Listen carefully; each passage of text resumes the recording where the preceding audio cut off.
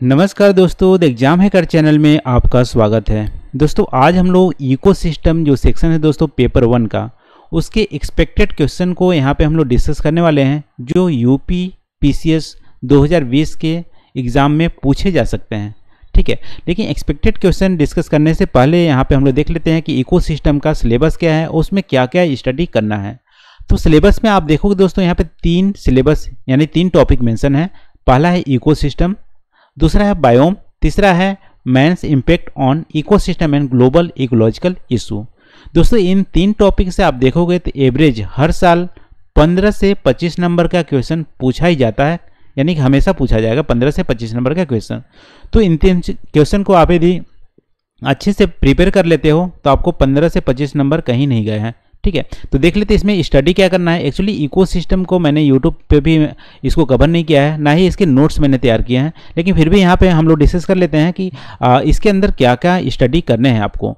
तो यहाँ पे दोस्तों पहला मेंशन है concept of ecosystem concept of ecosystem में आप देखोगे दोस्तों इकोसिस्टम की डेफिनेशन को आपको पढ़ना है। डेफिनेशन क्या होती है इकोसिस्टम की? फिर फ़ूड चेन फ़ूड वेब और एनर्जी पिरामिड ये आपको कॉन्सेप्ट ऑफ़ इकोसिस्टम के अंदर ही आएँगे। दोस्तों, इन साल का हो सकता है इससे एक क्वेश्चन बन जाए, क्योंकि मैंने 2017-2018 के रिसेंट जो क्वेश्चन है, उसमें से कॉन्सेप्ट ऑफ़ इकोसिस्टम यानी इन टॉपिक से क्वेश्चन नहीं पूछा गया था। तो हो सकता है इस बार यहाँ पे 2020 में पूछा जा सकता है। तो इसको आप वेरी इंपॉर्टेंट में मार्क करना है इसको आप ज़रूर पढ़ लेना। ठीक है? फिर देखते हैं स्ट्रक्चर ऑफ़ इकोसिस्टम दूसरा टॉपिक मेंशन है स्ट्रक्चर ऑफ़ इकोसिस्टम स्ट्रक्चर में आप देखोगे दो स्ट्रक्चर है मेनली बायोटिक कंपोनेंट और abiotic component biotic component के अंदर आप देखोगे प्रोड्यूसर कंज्यूमर और डीकम्पोजर प्रोड्यूसर में आप देखोगे जैसे प्लांट हो गए डीकम्पोजर सॉरी कंज्यूमर में आप देखोगे कंज्यूमर में भी आपको प्राइमरी कंज्यूमर सेकेंडरी कंज्यूमर और टर्सरी कंज्यूमर इसमें जनरली हर्बी बोलते हैं, जो प्राइमरी कंज्यूमर होते हैं और डायरेक्टली प्लांट को ईट करते हैं। फिर कार्नी इसमें होते हैं, जो प्राइमरी कंज्यूमर को खाते हैं। फिर ओमनी जो यहाँ पे आप देख सकते हो हर्बी ओर्स प्राइमरी कंज्यूमर को भी खाते हैं और सेकेंडरी जो कंज्यूमर होते हैं उसको भी खाते हैं ओमनीवर्स ठीक है तो इसको आप यहाँ पे पढ़ना है। फिर डीकम्पोजर डीकम्पोजर में फंगी हो गए, बैक्टीरिया हो गए, ये सब आ जाते हैं। फिर ए बायोटिक कंपोनेंट की बात करें दोस्तों, यहाँ पे सॉइल वाटर एटमॉस्फेरिक और क्लाइमेट और फ़ोटो पीरियड दोस्तों 2018 में एक क्वेश्चन पूछा गया था। उसमें पूछा गया था कि पॉन्ड इकोसिस्टम की स्ट्रक्चर और फ़ंक्शन दोनों को एग्जामिन कीजिए।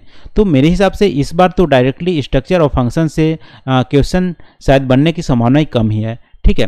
तो यहाँ पे देखो फ़ंक्शन ऑफ़ इकोसिस्टम में फ़ंक्शन ऑफ़ इकोसिस्टम जैसे इकोसिस्टम क्या क्या काम होता है, जैसे रेगुलेशन का काम होता है इकोसिस्टम में रेगुलेट करता है बहुत सारे, जो न्यूट्रिएंट्स होते हैं उसको रेगुलेट करता है। इसके अलावा न्यूट्रिशन जो साइकिल को कंप्लीट करने में हेल्प करता है गैसीय साइकिल को कंप्लीट करने में हेल्प करता है मिनरल साइकिल ये सारे हमारा फ़ंक्शन होता है इको का। इसके अंदर बहुत डेप्थ में जाना ज़रूरी नहीं है, क्योंकि डेप्थ में यूपीएस यूपीपी से जनरली पूछता नहीं है, जो सिलेबस में मैंशन है डायरेक्टली उसी से क्वेश्चन आएँगे, यानी फ़ंक्शन से डायरेक्ट क्वेश्चन आएँगे। ऐसा नहीं कि आपको पूछा जाएगा कि न्यूट्रिशन साइकिल क्या होते हैं, गैसीय साइकिल क्या होते हैं, या नाइट्रोजन की जो साइकिल होती है उसको आप एक्सप्लेन करें। शायद मेरे हिसाब से ऐसा नहीं पूछा जाता है। ठीक है, फिर देखो अदर जो फ़ंक्शन होते हैं दोस्तों, एनर्जी प्रोवाइड करती है, फ़ूड प्रोवाइड करती है, ये सारे इकोसिस्टम के फ़ंक्शन हैं। इसके अलावा और भी फ़ंक्शन होंगे, ठीक है, इसको आप पढ़ लेना। फिर देखो type of ecosystem type of ecosystem में आप देखोगे तो दो टाइप की इकोसिस्टम होती है टेरेस्ट्रियल इकोसिस्टम और एक्वेटिक इकोसिस्टम दोस्तों एक्वेटिक इकोसिस्टम से जैसे पॉन्ड इकोसिस्टम है फ्रेश वाटर में आते हैं और रिवर आते हैं फ्रेश वाटर में और स्लाइन वाटर में आप देखोगे तो यहाँ पे साल्ट लेक होंगे और ओशियन होंगे, ठीक है? और ब्रेकिस वाटर वाले होंगे, वो सलाइन वाटर में आएँगे। तो यहाँ पे दोस्तों 2018 में जैसे पॉन्ड इकोसिस्टम के बारे में पूछ लिया गया था तो हो सकता है इस बार जो क्वेश्चन बने, या तो सलाइन वाटर से बने, या आपको टेरेस्ट्रियल इकोसिस्टम से बन सकते हैं। तो आप इसको तैयार कर लेना टेरेस्ट्रियल इकोसिस्टम से, जैसे फॉरेस्ट ग्रासलैंड डिजर्ट टूंड्रा इसके इकोसिस्टम के बारे में आप पढ़ लेना। जैसे आपसे पूछा जाएगा ग्रासलैंड की फ़ूड वेब या फ़ूड चैन आप यहाँ पे एक्सप्लेन करो, या ऐसे कुछ क्वेश्चन यहाँ पे बन सकता है। तो हमारा टेरेस्ट्रियल इकोसिस्टम इस बार का वेरी इंपॉर्टेंट में आ जाता है और यहाँ पे सलाइन वाटर भी इंपॉर्टेंट में आ जाता है तो इसको आप तैयार कर लेना।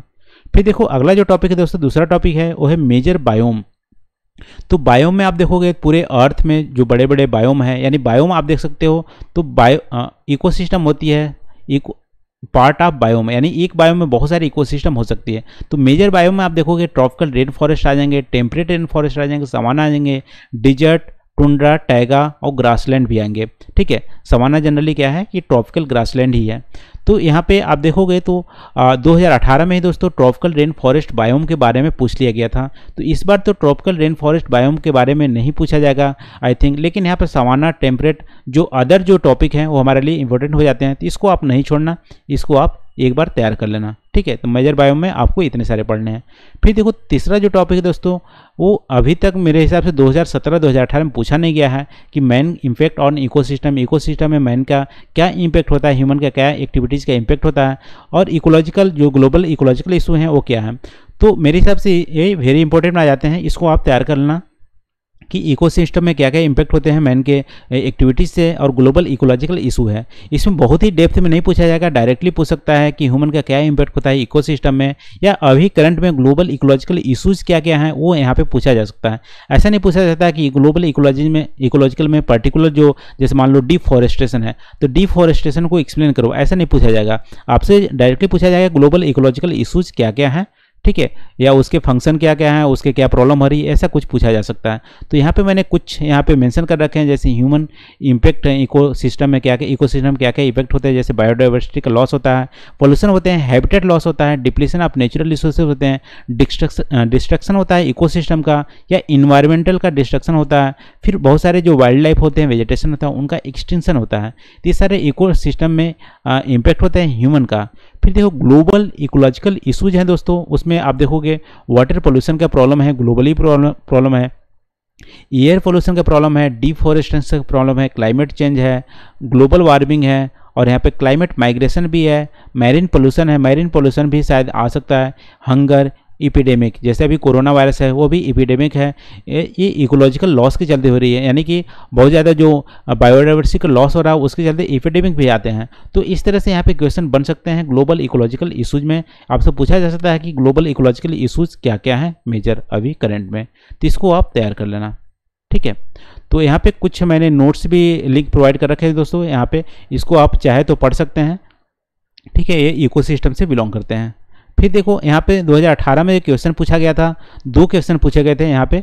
पहला था examine the function and structure of ecosystem with reference to any water bodies तो इसमें आप देखोगे दोस्तों इकोसिस्टम की फ़ंक्शन वाले पार्ट भी कवर हो जा रहा है स्ट्रक्चर वाला पार्ट भी कवर हो जा रहा है, और टाइप ऑफ़ इकोसिस्टम भी कवर हो जा रहे हैं। तो यहाँ पे तीनों को कंबाइन करके एक क्वेश्चन ही बहुत ही प्यारा सा क्वेश्चन यहाँ पे 2018 में पूछा गया था। फिर देखो, दूसरा है briefly describe the tropical rainforest ये क्या है बायोम के बारे में एक ट्रॉपिकल रेन फॉरेस्ट के बारे में पूछ लिया गया है। तो इसका यदि सोल्यूशन आपको डिस्कस करना है तो इस लिंक पे जाके आप यहाँ पे इसका नोट्स ले सकते हैं, या यूट्यूब चैनल पे भी मैंने इसको डिस्कस कर लिया है।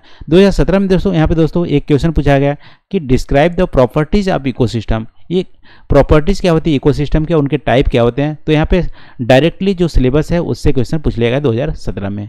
ठीक है तीस बार का एक्सपेक्टेड क्वेश्चन दोस्तों, यहाँ पे जैसे सॉरी स्ट्रक्चर आप एन फ़ंक्शन ऑफ़ इकोसिस्टम तो 2018 में पूछ लिया गया था। इससे नहीं बनेंगे, लेकिन कॉन्सेप्ट ऑफ़ इकोसिस्टम में जैसे फ़ूड वेब फ़ूड चेन इससे यहाँ पे क्वेश्चन बन सकते हैं। फिर बायोम ट्रॉपिकल रेन फॉरेस्ट के अलावा जो बायोम है, उससे क्वेश्चन बन सकते हैं। या टेरेस्ट्रियल जो इकोसिस्टम है टाइप उससे क्वेश्चन बन सकते हैं। इसके अलावा देखो ग्लोबल जो इन्वायरमेंट और इकोलॉजिकल इशूज़ हैं, उससे क्वेश्चन बन सकते हैं। तो इसको आप यहाँ पे तैयार कर लेना, इस बार का इंपॉर्टेंट क्वेश्चन में। ठीक है। कुछ यहाँ पे दोस्तों प्रैक्टिस के लिए यहाँ पे मैंने कुछ क्वेश्चन भी दे रखे हैं। जैसे give a brief account of principal land biome and their latitude latitudinal distribution तो यहाँ पे जो लैंड बायोम है उसका लेटीट्यूडनल डिस्ट्रीब्यूशन आपको यहाँ पे मेंशन करने हैं। फिर टर्म बायोम का टर्म यहाँ पे डिफाइन करना है और टेरेस्ट्रियल बायोम जैसा कि इस बार का इंपॉर्टेंट है क्वेश्चन है टेरेस्ट्रियल बायोम आ सकते हैं तो उसको डिस्क्राइब करना है और सवाना बायोम को करेक्टरिस्टिक बताना है। फिर indicate the major biotic region of world climate change flood problem से रिलेटेड आप एक क्वेश्चन यहाँ पे आ, आप जो फ्लड प्रॉब्लम है, क्लाइमेट चेंज है, जो ग्लोबल इकोलॉजिकल इश्यू है, उसको एक बार आप यहाँ पे देख लेना। तो इस तरह से दोस्तों यहाँ पे इकोसिस्टम से रिलेटेड हम लोग आज का जो 2020 में जो क्वेश्चन पूछे जा सकते हैं, उसके इंपॉर्टेंट टॉपिक को हम लोग यहाँ पे डिस्कस किए और साथ साथ इस सिलेबस के अंदर क्या क्या हम लोग स्टडी करना है, वो भी हम लोग डिस्कस किए। तो आई होप दोस्तों यहाँ पे जो डिस्कस किए हैं, आपको पसंद आए होंगे और जो भी हो यदि पसंद या ना पसंद कुछ भी आए होंगे, आप कमेंट करके हमें ज़रूर बताना। ठीक है? तो आज की वीडियो बस इतना ही दोस्तों। थैंक यू फॉर वॉचिंग मिलते हैं अगले वीडियो नए टॉपिक के साथ। Thank you